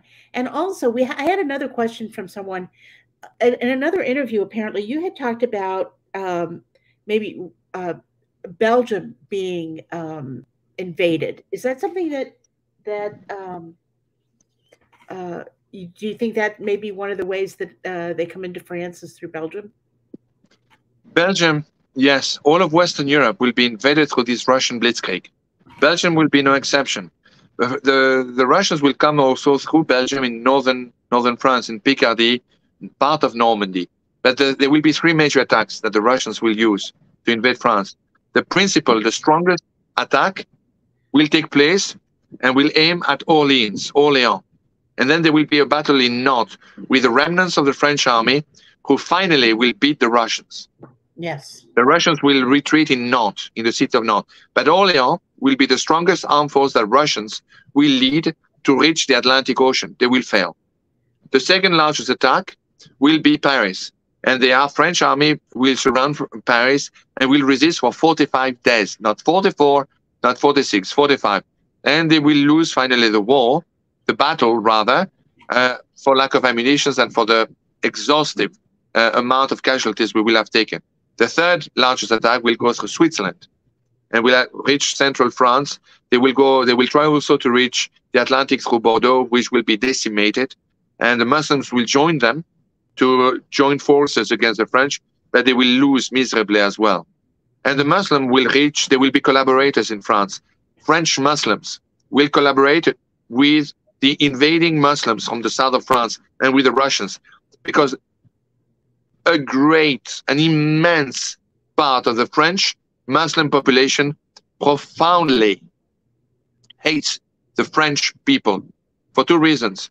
Because France is indeed known as the as the church eldest daughter, And second of all, because they will never have forgiven the French for the humiliation of the colonies. Mm. Mm. So I hope that answers your question. Now, yes. in regards to the prophecy, the French king will come, all this disease will come through. There will be millions of victims on both sides of the camp. On uh, the entire world population will be affected. But there will be those faithful who will have heard, who will be prepared, and some of them will be already prepared in refuges.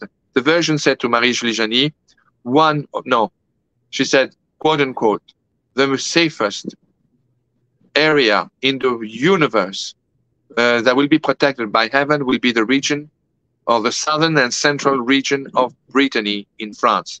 Although there will be future communities slash refugees throughout the entire world and many in Northern America, many in the United States, Mexico, Canada.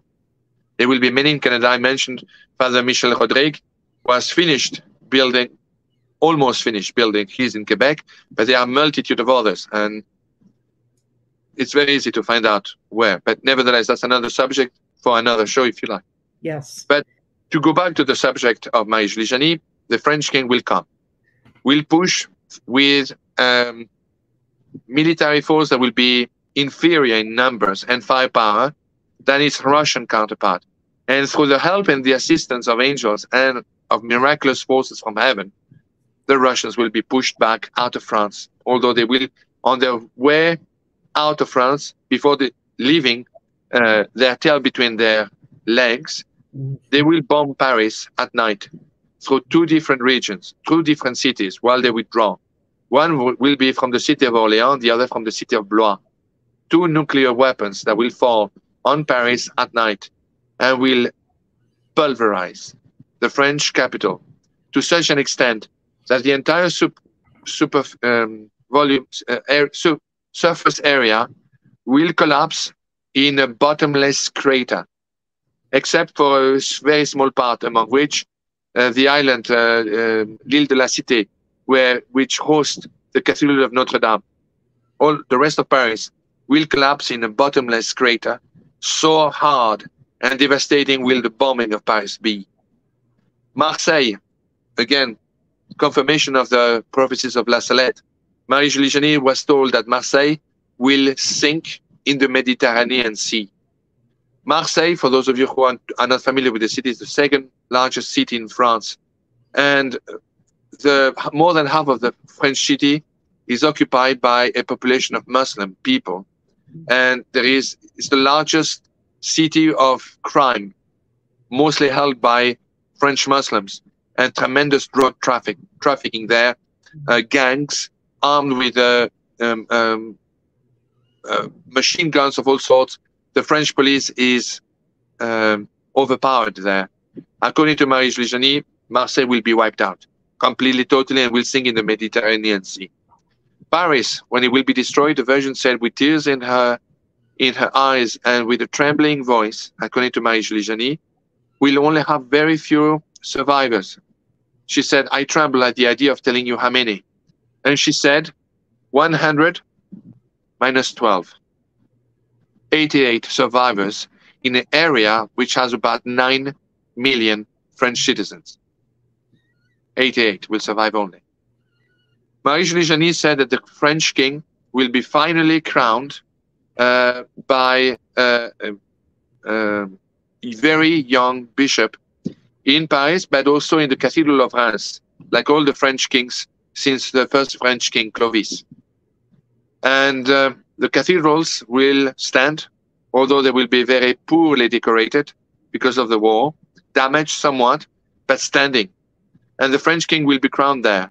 In the meantime, the king of Spain, the cousin of the French king, will manage to push back to the sea all the Muslim invaders, and with a much smaller force, will join the French king to liberate northern Italy. At that time, already, all of France will be freed, part of Belgium, part of Germany, Switzerland, and northern Italy. And there will be a war in Italy that will last about three years, until finally Rome will be liberated or what remains of Rome, and the French king, principally followed by his cousin, the King of Spain, will reinstitute on the throne of Peter a quote unquote an angelic pope who will restore the Catholic Church to the traditional glory of yesteryears. Mm-hmm. That will be the time when the final seal, the last chastisement, if you will, will take place. And that will be the three days of darkness. Yes, Marie-Julie Jahenny, like Padre Pio, like Saint Padre Pio, confirmed indeed that, or said before Padre Pio, that there will be three days of darkness. And then she explains exactly what we have to do. We have to cover all the windows. There will be warnings before that for people to be able to prepare. The visionaries of Garabandal and other places will warn everyone to be prepared in advance. You will have to shut down your windows, you lock your doors, and and the version said to Marie-Julie Jahenny that everyone is supposed to get a 100% beeswax candle that is to be lit uh, during the three days of darkness. That particular candle will not be consumed during those three days of darkness, will remain intact for three days, and I believe two nights. It could be a small thing like this. It will be lit during the entire period and will not be consumed. Or it could be something bigger, the same. But it must be 100% beeswax. All the explanations are in my book. If you want to have another show talking about the preparations of the three days of, of darkness, we can. Yep. I've done this with my friend, yes. with my good friend John Henry Weston. I've done this with uh, my friend Taylor, Taylor Marshall, that is. Luis Roman, who is, uh, we had over half a million viewers on that particular show. I'd be delighted to do that with you, with uh, also with uh, Ron and with uh, Monique.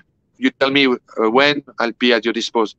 Thank but you. those are the messages principally of Marie-Julie extraordinary apparitions.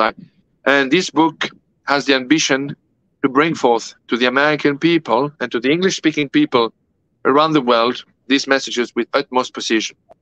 This was the first one, I think, that was published in the United States that is published in the United States and unquestionably the most detailed. Um, finally, there, after Marie-Julie Jahenny, there was Fatima. Uh, uh, do we still have time, Debbie? I don't want to abuse of your time. No, no, no. We have time. Go right ahead. Splendid. We have now uh, the apparitions, of course, of Fatima. Fatima, or rather, Marie-Julie Jahenny took place before Fatima, during the apparitions of Fatima, and well after the apparitions of Fatima. But there was Fatima that took place in the meantime. And there we know of the, the three secrets of Fatima. We know the first one, which principally involved the passing away of Jacinta and Francisco of the Spanish flu which took place exactly as the version announced. The second secret of Fatima being being the coming. That was at the conditional tense. The coming of the Second World War and the spreading of Russia's errors if humanity does not convert and return to a son in time. In other words, this was conditional to the fact that if man converted in time, who knows, Adolf Hitler would have been stopped in 1936 if the maybe the French would have gone in, stopped him when he uh, he he um, claimed Austria and Czechoslovakia uh, for the Third Reich before the invasion of Poland. It would have been the end. And maybe Russia, the coup of uh, of uh, November, October, November 1917 would have failed, and communism would never have taken place. Uh, the Russians now would have remained in, and Russia would still be known as a Catholic, as a, a Christian Orthodox church and communism would not have spread elsewhere the world. But no, the church decided, very much like in Grenoble with La Salette, to keep the secret quiet. Yes, the second was revealed, but the third, no. And the instructions of the Virgin Mary were extremely explicit, not subject to any interpretation. The message of heaven, not the message of the Virgin Mary, the message of heaven echoed by the Virgin Mary were these. The third secret of Fatima was to be revealed publicly to the faithful either at the moment of death or after the, the death of Lucia dos Santos or no later than 1960. In 1960, the pontiff was John the 23rd, who indeed, as required, opened not one envelope, but the two envelopes that Lucia dos Santos wrote upon the instructions of the Archbishop of Fatima. The first envelope involved a vision, which we all been told about on June the year of the year 2000 by His Eminence Cardinal Bertone. The second envelope consisted and still consists today of the accompanying message of the Virgin Mary, which to this day, I tell you formally, has not been formally or publicly revealed by the Vatican, despite what Cardinal Bertone said, that upon the revelations of the vision of Lucia dos Santos, there was nothing more to be brought forth. There was nothing more to the third secret of Fatima. I tell you solemnly, although I find no pleasure in saying this, on the contrary, utmost pain and sadness, but Cardinal Bertone lied. For indeed, there was the additional accompanying message that was never revealed, except by His Eminence Cardinal Ottaviani through a German ma magazine called Neues Europa, no? And later as well through, remarkably enough, the apparitions of Fatima, the, of Akita in Japan. And I will tell you very quickly, uh, if I have the time, the circumstances of the revelation of the third secret of Fatima in Akita in Japan, if I have time. I proceed forward.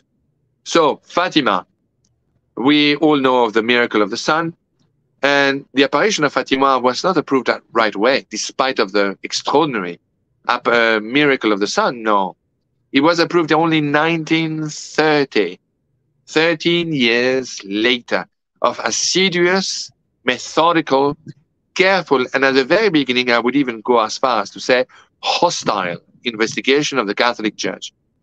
And I asked Father Laurentin, uh, why is the Catholic Church always investigating this on a hostile basis?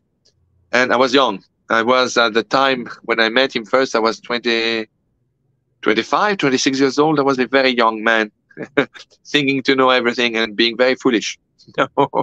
like most men of that age. No. but I learned quickly. Father Laurentin ever so kindly put me back in my place with a great deal of charity and fatherly warmth.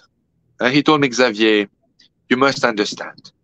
The Catholic Church cannot offer itself the luxury ever to one day approve an apparition site that would prove later to be a falsehood, a falsehood possibly even construed by the enemy of God.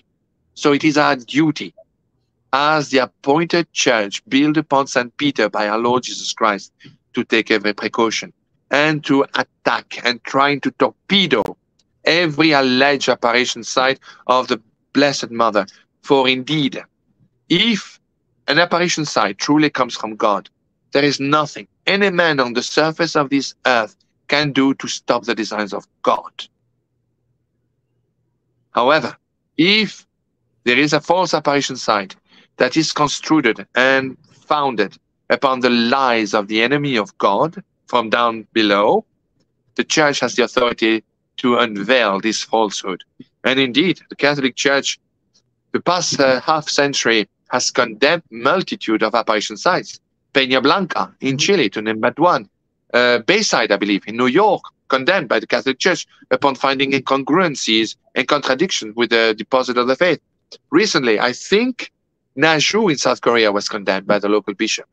No, so the church does not hesitate for one moment to to hit with a sword. No, but in some instances she has approved, and others being very surprised, still pending. And I'm referring like Garabandal in in Spain, and others as well. So condemnation does come after assiduous investigation, but so does approval. So Fatima was proven worthy, was proven worthy, being worthy of belief. And indeed, all the prophecies which were apocalyptic took place. Second World War took place exactly at the, at the beginning of the reign of Pius XI, exactly as the version said. The Russian USSR spread its errors throughout every continent of the of the world. It happened exactly as, as promised. And the third secret of Fatima, uh, some of the events, as you were about to find out, took place, others are yet to take place. But Pope, Pope John the 23rd, when he unsealed the second envelope and read the message, according to the testimonies who were there, including Cardinal Ottaviani, became white, like an aspirin, French expression translated into English. And immediately folded the piece of paper back, put it back in the unsealed envelope, and gave it to his aide, stating, quote unquote, this message is not meant for our time. Blimey, really? You mean to say, Your Holiness, that God and heaven made a mistake by appointing the, the mother of Christ to give these instructions? They were not, heaven was not able to foretold the future when it gave these instructions for the Blessed Virgin Mary. They were not able to foretell the geopolitical situation of 1960 and therefore made a mistake for you to correct by saying this does not is not meant for the for our time truly it's extraordinary it takes an immense amount of gall to find yourself wiser than heaven and disobey purposely the instructions of god from an apparition site which has been formally approved by the archbishop of fatima and later by the congregation of the doctrine of the faith in rome extraordinary but he was not the only one at fault. His successors fell in the same trap. Paul VI did exactly the same thing. John Paul I, God help him, he mm. only reigned for 33 days. So he had perhaps an excuse. And he passed away under, after his short reign, shall we say, under more suspicious circumstances. John Paul II, at least, had the excuse of having attempted again and again to echo and bring forth to the public, to the faithful, the message which was, which was meant for them to be aware of, to hear. But he was only able at the end, although on one particular interview, he practically revealed it all when he said, and it is in my book, I don't have my book under my eyes right now, but when the Pope said very clearly, if you hear that men are to die in matters of second from one moment to the other, and uh, uh, it's just time from heaven. If you hear that the war is to take place and destroy and wipe out the larger part of uh, world's humanity, if you hear this and if you hear that, uh, always have recourse to the Holy Rosary of the Holy Rosary, to the sacraments, and do not be afraid. Do not be afraid, as the Pope used to say. That was an echo and then, before the end of his reign, he ordered at least the revelation of the first half of the third secret, which was the vision which we are all familiar with, and echoed in my book. I even put a picture describing the vision as the children saw it. But the message, the third secret of Fatima, was indeed revealed indirectly by Cardinal Ottaviani. Now, uh, as I mentioned, it's all re written uh, word for word the way it was um, revealed by His Eminence the Cardinal in my book. But remarkably enough, and this is an extraordinary confirmation, Akita, as I mentioned before, the apparitions of Akita that began in the 19, early 1970s, I believe 1973, memory serves, to a sister who was uh, uh, deaf, could not hear, was miraculously cured, only to fall back to deafness, only to be healed yet again, and she had the stigmata, as did a wooden representation, a wooden statue of Our Lady, Queen of all Nations, uh, and a, a, Dutch, a Holland, a, a Dutch uh, advocation, which was recently approved by the Catholic Church.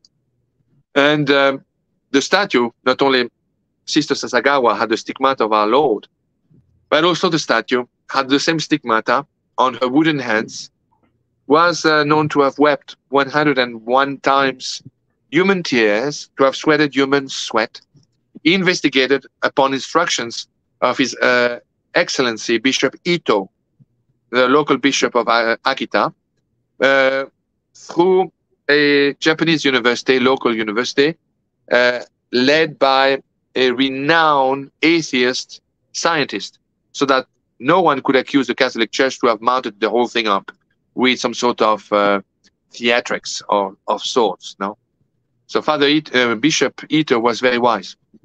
Finally, although at the beginning he was perplexed, uh, Bishop Ito was convinced. But in the meantime, like every true apparition site, Sister Sasagawa, the sisters of the convent of Akita, the apparition sites all together, even Bishop Ito, were defamed, criticized, insulted, condemned uh, of all sorts of mediocrity of all sorts. Accused to have lied and so on and so forth. Mediocrity, as Father Laurentin would say. So Father, or rather Bishop Ito, finally decided to go to Rome and take what you Americans call the red eye, Tokyo, Rome. Took the flight, arrived exhausted, made a rendezvous with His Eminence Cardinal Ratzinger, future Pope Benedict XVI, prefect named as such by His Holiness Pope John Paul II. But keep in mind that the uh, uh, Cardinal Ratzinger had been bombarded as well with all sorts of defamation against Akita. He was also very perplexed. That is, at the very beginning. But he knew, his experience taught him, do not reach too fast a conclusion. We've seen this before. Let's listen all uh, both sounds of the of the bell. No, not just the ding, but also the dong. So Bishop Peter arrived and uh, brought him a dossier he carefully prepared. Now he was completely convinced, Bishop Peter, that is, and told him and explained to him, showed him all the scientific results, etc. Cardinal Ratzinger listened carefully, and uh, but he was perplexed. Finally, Bishop Ito gave him the last message given by the Virgin Mary to Sister Sasagawa on October 13th, 1973, memory serves. Yes. On the 56th anniversary of the last apparition of Our Lady of Fatima, on the anniversary, on the 56th anniversary of the miracle of the sun. And that message, I invite all your viewers to check it on the internet. It's in my book. Mm-hmm. It's nothing less but frightening. If it doesn't reduce your body temperatures by five degrees in less than 10 seconds, then you're stronger than I because it's frightening. He talks, among other things, of the devil walking amidst the ranks of the cardinals in Rome, talks of a chastisement that will wipe out a larger part of humanity through a rain of fire, chastisement that will decimate the world. He talks about uh, God being, yes, a God of mercy, but a God of justice. I invite all of your viewers to check it out on the internet. So when Bishop Ito entrusted the, piece, the sheet of paper on the hands of Cardinal Ratzinger, he read it Bishop Ito, feeling that he did not convince the cardinal, went on. Immediately was stopped by the cardinal, Ratzinger, and told him, Your Excellency, there will be no need. There will be no further investigation, no further uh, conversation. The matter is closed as of today. Bishop Ito, alarmed, said, Your Eminence, but you haven't given me a full chance to explain our situation. Please do listen to me. The cardinal said, Bishop, it's not necessary. You do not understand. There will be no further investigation, no further conversation, because as of today, the Catholic Church, through the Congregation of the Doctrine of the Faith, will declare formally Akita and the apparition of Sister through Sister Sasagawa as being worthy of belief. Bishop Ito immediately, astounded, said, Cardinal, quickly, my heart is racing. You have to explain to me what made you change your position 180 degrees uh, in less than a minute. What was it? Please do tell me.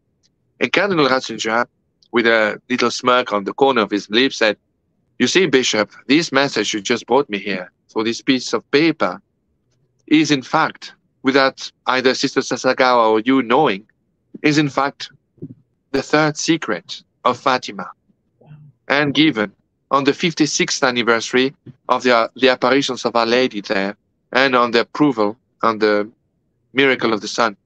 That is enough for me. You have the seal of approval of Rome as of today. That particular anecdote was echoed by the Bishop Ito himself a few years later in a Marian conference in Geneva before thousands of witnesses. What I tell you is history, is historical fact, and a confirmation that indeed what was reported on June the year 2000 by Cardinal Bertone and his uh, colleagues were was nothing less than an incomplete report, purposely incomplete, so as to hide the true message of Akita and of Fatima, which is in no way, shape, or form convenient for the clergy, particularly for the hierarchy of the Vatican. So that is the message, the big lines of the great secret of Akita, which today, and and I accuse publicly the Bishop of Akita today of doing everything in his power to muffle Sister Sasagawa, who is now being forbidden to, to discuss the apparitions to writers such as myself, to journalists, uh, or to discuss even the message of October 13th, 1973. I accuse the church of trying also as well to try to muffle the messages of approved apparition sites to the faithful because of its inconvenience and its accusatory message against the Vatican hierarchy. And she's now, been in total seclusion, hasn't she? She is ordered to silence. I know I tried to contact her, and that's what I, I hit my nose against. Now, having said what I said, I want to make it perfectly clear. I am not a fan of, the, of Pope Francis. However, I respect him. He is the Pope de facto. I pray for him. I pray for God assisting him. And God knows that he needs assistance. I pray for the hierarchy of the church. I pray St. Michael the Archangel at the end of every Mass for him to defend the Catholic Church, the institution in the Vatican, against the innumerable attacks it's under right now, particularly the infiltration within the Catholic Vatican of different lobbies, including including those of LGBTs, Freemason, Freemason, Freemasonic lodges, and the likes. The Catholic Church, I remind your viewers, is not Rome, it's us. Mm-hmm. We are the Roman Catholic Church. The Pope deserves our respect. I do not agree with Amoris Laetitia because it's it goes against completely and it's not a subject of interpretation. It goes in every fiber of its conception against the dogma of the faith. Mm-hmm. Giving communion to um, divorcees, to non-Catholic, even if they're married to Catholics, I disagree completely. I have not swallowed yet the pill of the Pachamama incident, which was nothing short but an incident of sheer idolatry and complicity by allowing pagans to adore a false goddess on Vatican grounds before the witness of, of the Pope with a very fatherly smile. In from where I come from, this is called complicity.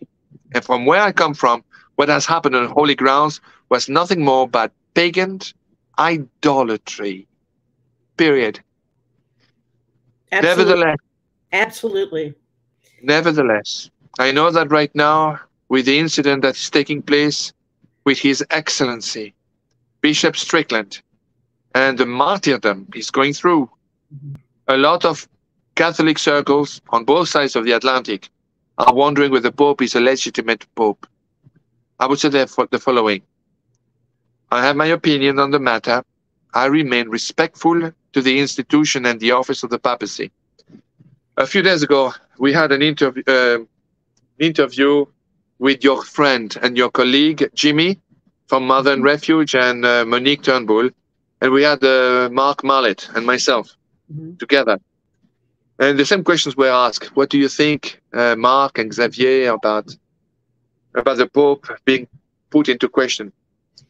Uh, my response, my response was this: There is a very good, famous American um, uh, series, a movie called Band of Brothers, I'm sure you know it. Yes, it's a story of American soldiers uh, during World War II, from the moment of Normandy all the way to the end of World War II. Beautiful story, based on true facts.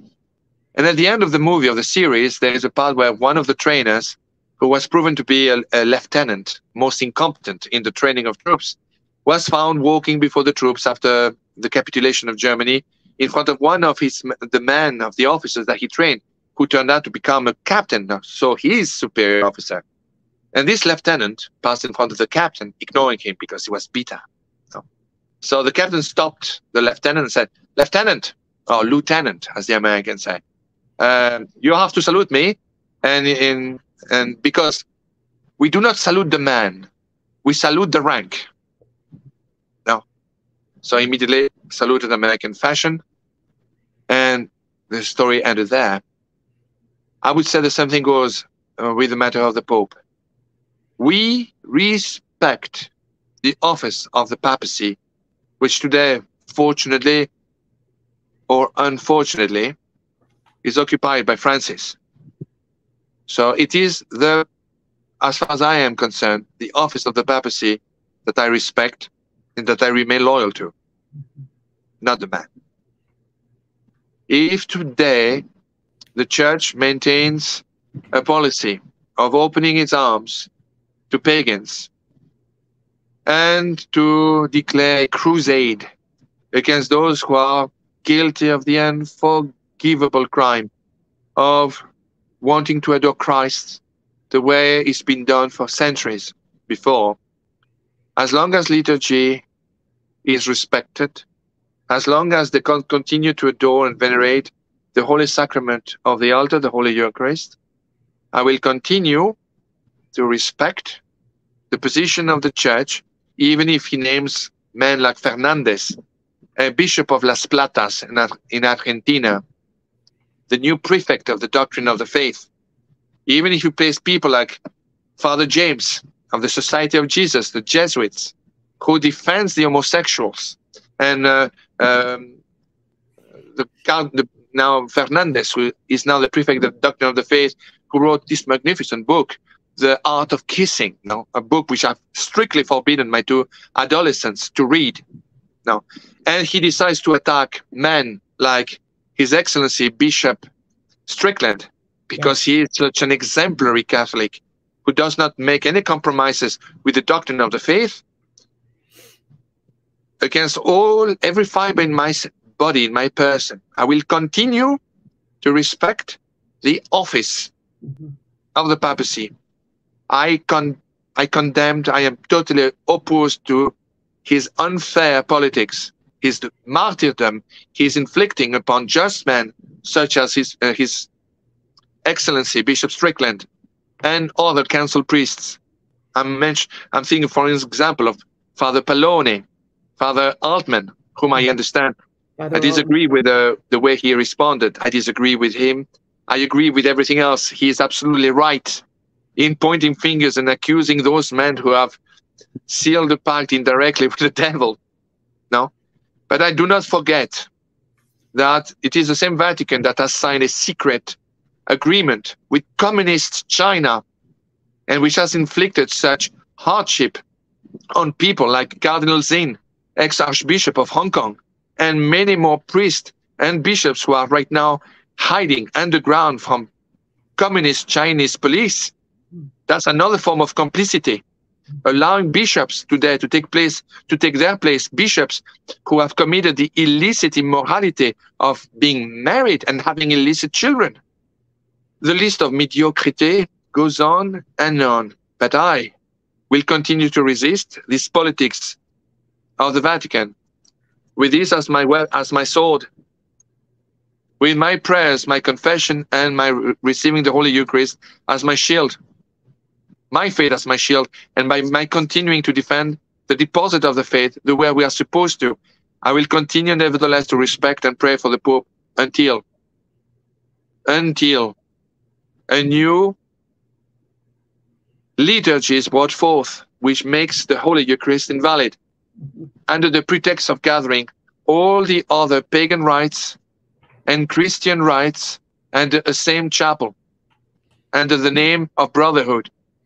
When they will start celebrating a Eucharist that is no longer one, at that moment, no longer.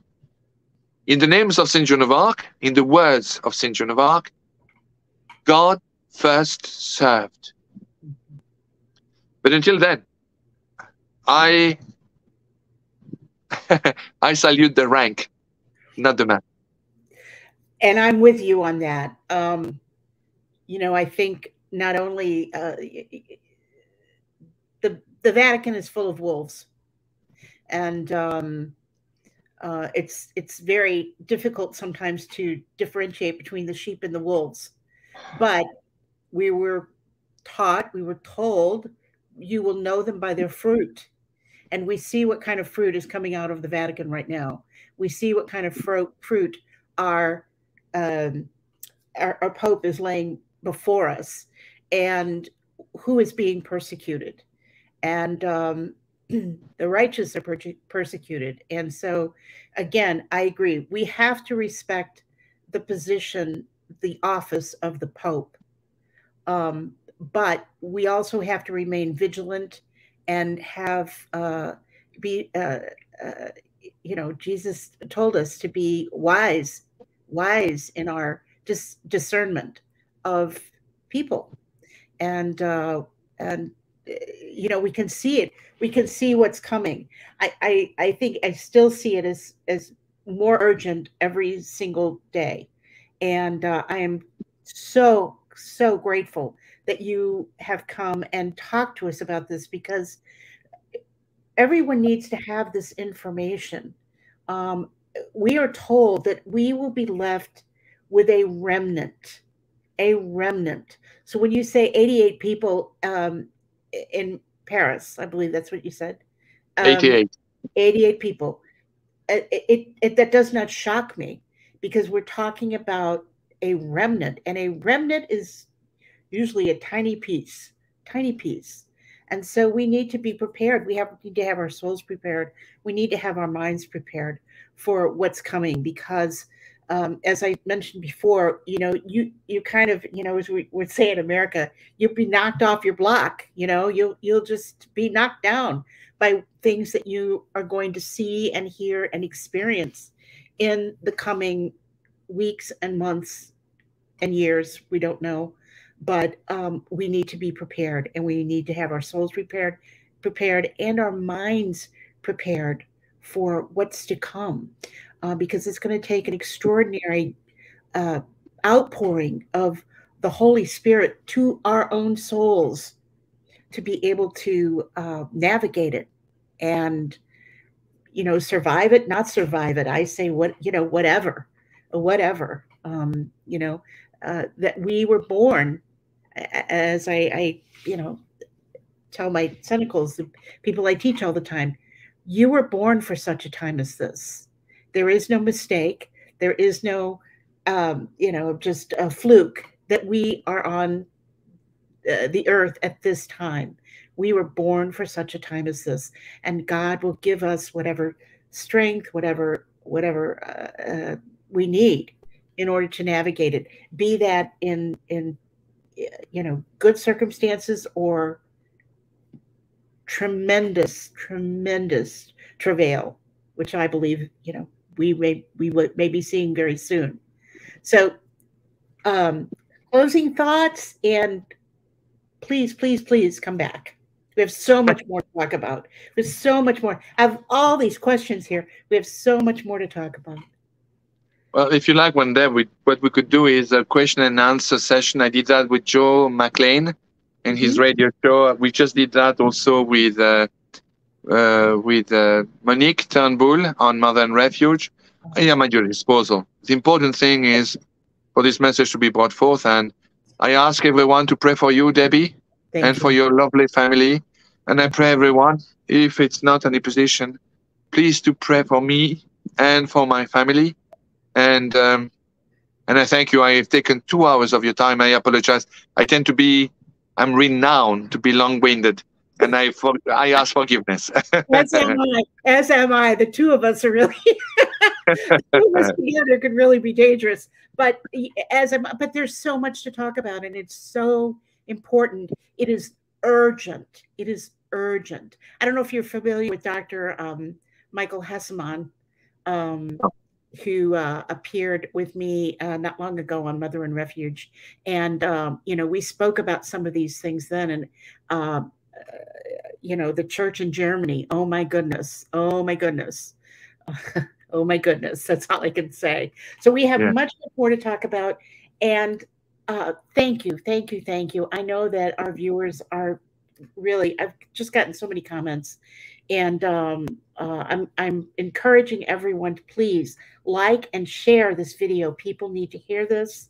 And, um, you know, our channel is, is small, but, uh, but we have the opportunity to get out to lots and lots of people. So um, if you would, uh, Xavier, uh, send us off with a prayer and be on the lookout, everyone, for our next program.